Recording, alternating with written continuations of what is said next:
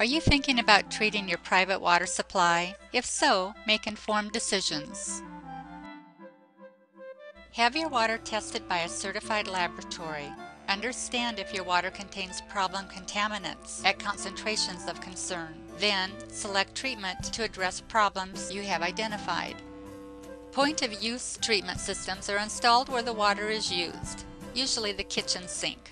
These systems are best for contaminants that cause problems if they're ingested or swallowed, like nitrate. Point of entry treatment systems treat water that will be used for all purposes within the home. They're also called whole house treatment. These systems are best used when the contaminant is a household nuisance, like hard water or iron, or for contaminants that cause problems through skin contact or inhalation, like radon.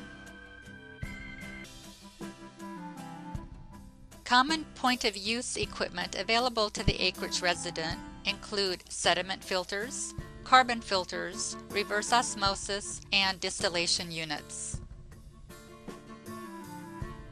The sediment filter traps large particles. Small particles, chemicals, and metals will pass through.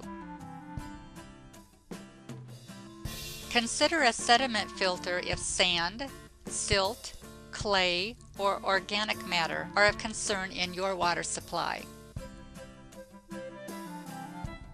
Carbon filters absorb or hold on to some contaminants. Other contaminants will pass through the filter. Carbon filters may be purchased as pitchers, faucet mount, or installed in the plumbing, usually under the sink. Consider a carbon filter if you want to improve the taste or odor of your water. Some carbon filters can also remove lead, pesticides, and industrial waste.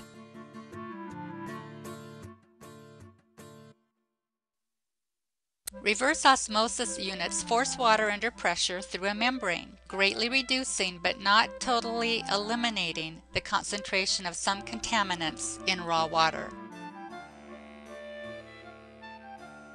Consider reverse osmosis to reduce concentrations of nitrate, arsenic, uranium, and some other contaminants.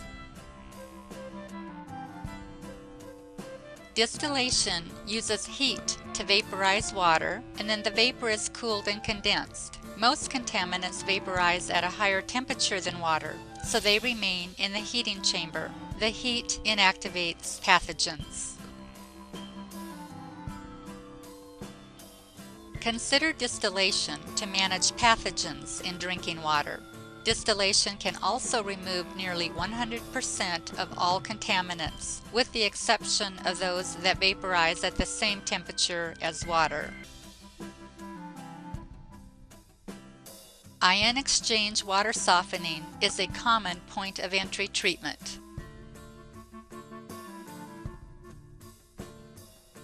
An ion exchange water softener replaces contaminants in water with sodium